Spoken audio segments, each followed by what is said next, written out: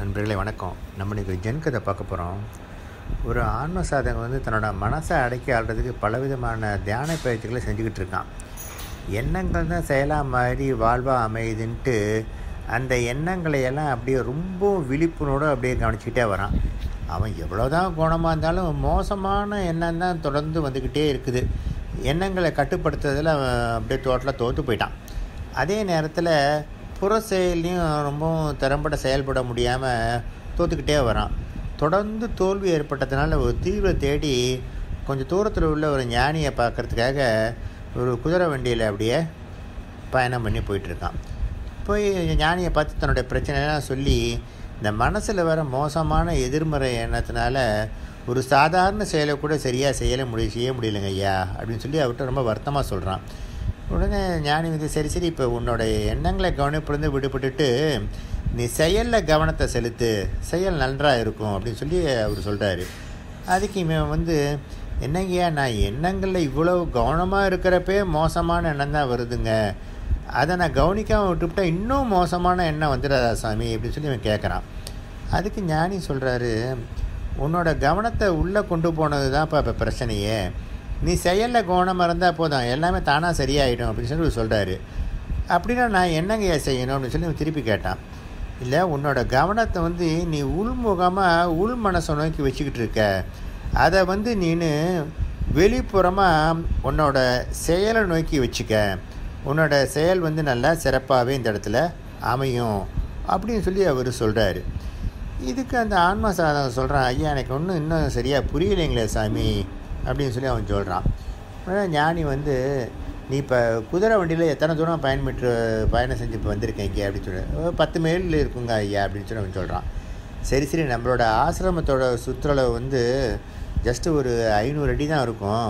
இப்போ நான் சொல்கிறது மாதிரி குதிரையை பூட்டி ஆசிரமத்தை அப்படியே ஒரு ரவுண்டு வந்தேனாக்கா உனக்கு எல்லாம் புரிஞ்சு போய்டும் அப்படின்னு சொல்லி சொல்கிறாரு சரிங்க சாமி நீங்கள் சொல்கிற மாதிரி நான் செய்கிறேன் அப்படின்னு சொல்லி சொன்னான். வண்டியில் உள்ள குதிரையை அப்படியே திருப்பி பூட்டிட்டு அதாவது குதிரையோட முகம் வந்து வண்டியை பார்த்துருக்க மாதிரி வச்சுட்டு ஆசிரமத்தை அப்படியே சுற்றிட்டு வரதுக்குன்னு சொல்லி ஞானி சொன்னது மாதிரி பூட்டி பார்க்குறான். இப்போ குதிரையை திருப்பி கட்டிட்டு குதிரையை ஓட்டி பார்க்குறான். ஒரு பத்தடி கூட தூரம் அவனால் சரியாக போக முடியல. ரொம்ப அப்படியே தடுமாறி போயிட்டான் அவன். சாமி குதிரையை வந்து வெளிப்புறமாக பார்த்தா தானே சரியாக ஓடும். அதை வந்து நான் உள்ளே பார்க்குற மாதிரி கட்டினா அது எப்படி சரியாக ஒன்று இது முட்டாள்தனமாலாம் இருக்குது அப்படின்னு சொல்லி அவன் கேட்டான். அவர் சிரிச்சுக்கிட்டே நீ அப்படி தான்ப்பா இருக்கிற. உன் கவனத்தை வந்து உள்ளே வச்சுக்கிட்டு எப்படி நீ வெளியே சரியாக செயல்பட முடியும்? அப்படின்னாரு. அப்படின்னா எண்ணங்களையெல்லாம் கவனிக்க வேண்டாங்களா? அப்படின்னு சொல்கிறாரு அப்படின்னு இவன் கேட்டான். அப்போ குதிரையை வந்து உன் தேவைக்கு ஏற்ப நிறுத்த வேண்டிய இடத்துல நிறுத்துறதுக்கும் விரட்ட வேண்டிய இடத்துல விரட்டியும் ஓட்டுறதுக்கும் எப்படி நீ கொடுக்குற சைகையை வச்சு சரியாக பயணிக்குதோ அதே மாதிரி உன்னோட எண்ணத்தை வந்து நீனு புறத்தில் சரியாக வச்சுக்கிட்டு செயல்பட ஆரம்பி. எண்ணத்தை வந்து கவனிக்கிறத நிறுத்திப்புட்டு அதை போய் நிர்வாகம் பண்ணுறதுக்கு முயற்சி பண்ணாத அப்படின்னு சொல்லி ஞானி சொல்கிறார் இப்போ இவன் நல்லா புரிஞ்சுக்கிட்டான்.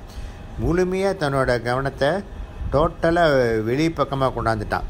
முன்னோக்கு தில்லி ஓடுற குதிரையை மாதிரி தன்னோட சிறப்பான புற செயல்னால் வாழ்க்கை பயணத்தை ரொம்ப சிறப்பாக வாழ ஆரம்பிச்சிட்டான். நன்றி வணக்கம். அனைவருக்கும் அன்பான வணக்கம். ஸ்ரீ பகவத் ஐயா அவர்கள் நம்மோடு வாழ்ந்து கொண்டிருக்கும் ஞானி. இவரால் ஞான தெளிவு பெற்றவர்கள் பலர். ஒவ்வொரு மாதமும் வெளிவந்து கொண்டிருக்கும் பகவத் பாதை மாத இதழ் மாதந்தோறும் ஞானத் தெளிவு தரும் ஐயாவின் கட்டுரை அன்றாடம் எதிர்கொள்ளும் பிரச்சனைகளுக்கான கேள்வி பதில் ஞானத்தை எளிதாக புரிய வைக்கும் ஜென் கதை என அனைத்தையும் தாங்கி வந்து கொண்டிருக்கிறது. பகவத் பாதை தற்போது ஒளிபாதையாக திருச்சி குழந்தை நல மருத்துவர் டாக்டர் முத்துக்குமார் அவர்களின் உரையில் வெளியிட்டுள்ளோம். மேலும் ஸ்ரீ பகவத் மிஷனிலிருந்து சத்சங்கங்கள் ஞான முகாம்கள் நடைபெறுகின்றன. மேலும் விவரங்களுக்கு தொடர்பு கொள்ள